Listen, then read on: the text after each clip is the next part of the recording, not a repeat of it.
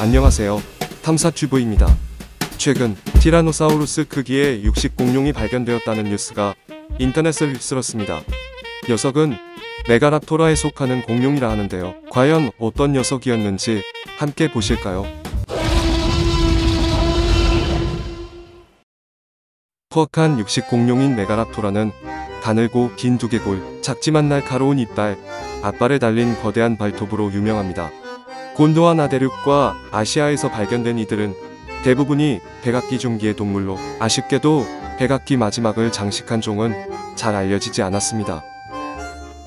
그러나 최근 남아메리카 아르헨티나의 산타크루스에서 백악기 말기에 메가랍토라가 발견되었습니다.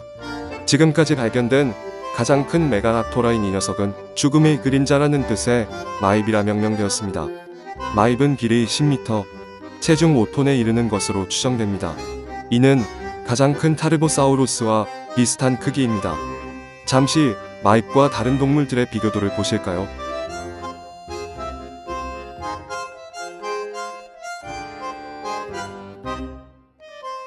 비록 온전한 두개골은 없지만 보존율 좋은 여러 개의 척추와 늑골이 발견되었고 뚜렷한 메가랍토라만의 특징을 보여 이쪽으로 분류되었습니다. 재밌게도 마입의 갈비뼈와 척추에서는 인대의 부착점으로 보이는 흔적이 발견되었습니다. 이를 통해 연구진들은 마입이 악어와 같은 현생 파충류보다 조류와 유사한 호흡 체계를 가졌을 것이라 추정했습니다. 계통 분류에서 마입은 메가랍토라의 clade B에 배치되었습니다. 여기에는 거대한 아에로스테온, 트라타이에니아 등이 속해 있습니다.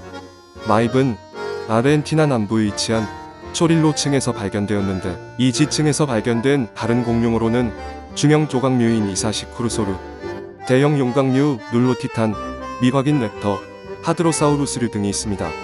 그 크기로 미루어 보아 마입은 카르카로돈토사우리드가 없어진 아르헨티나를 지배한 정점 포식자였을 것입니다. 역사상 최대 최강의 메가랍토라 마입 녀석은 죽음의 그림자 그 자체였을 겁니다. 오늘 준비한 내용은 여기까지입니다. 저는 다음 시간에 다시 인사드리겠습니다.